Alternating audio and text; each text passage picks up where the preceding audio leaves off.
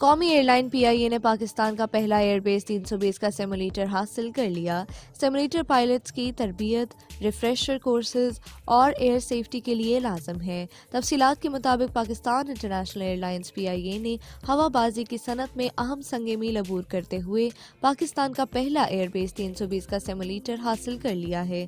برسوں بعد پی آئی اے کی حالت میں بہتری ایئر مارشل ارشد ملک نے ناممکن کو ممکن کر دکھایا۔ کرونا بحران کے باوجود ایک سال مطابق قومی ایئر لائن نے مالی سال دو ہزار بیس کے لیے مالیاتی نتائج جاری کر دیے پی آئی اے نے مالیاتی report Pakistan stock exchange simulator دستیاب نہیں تھا، جس کے باعث تمام پائلٹس اے تھری ٹوینٹی پر تربیت اور ریفریشر کے لیے بیرون ملک چاہتے تھے۔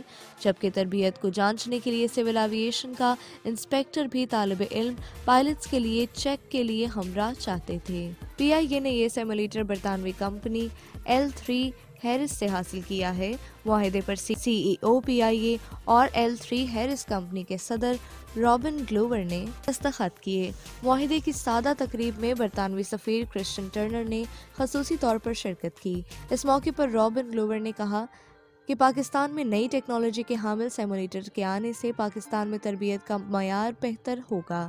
ارشد ملک کا کہنا تھا کہ P I A simulator complex Karachi airport پر قائم کیا جا رہا ہے، جہاں تمام ایئر لائنز اور سی ای اے کے دفاتر اور تربیتی مراکز قائم ہیں۔ اس سیمولیٹر کے آنے سے پاکستان میں تربیت اور فضائی حفاظت کا معیار کسی بھی ترقی یافتہ ملک کے مساوی ہو جائے گا۔